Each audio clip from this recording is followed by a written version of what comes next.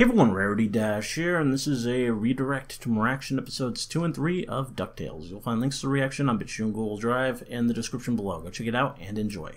So yeah, not much to say here. Uh, I assume by now most people know what we have coming up as far as new stuff goes. Uh, obviously this Saturday we're going to be doing Over the Garden Wall.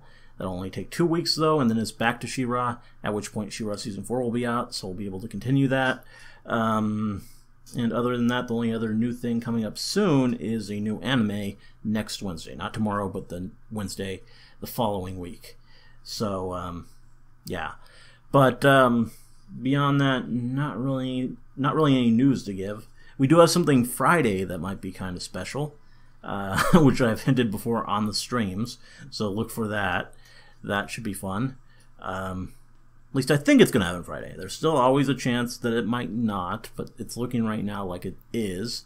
So, if so, that should be kind of that should be kind of fun. Um, and I'll probably announce that officially if it is going to happen the night before on the Discord server. So watch for that. Um, but um, beyond that, yeah, can't really think of much to say. So moving on, the art this week is from is from Dorae Art Dreams Aspy, and it's a pic of Saren reacting to G3 Rarity, which is who this unicorn is. So yeah, I think this was around the time that I reacted to Bronies react to G3, and uh, yeah, Rarity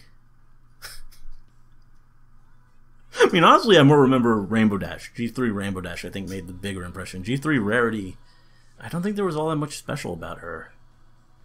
She, uh, yeah, didn't really stand out to me.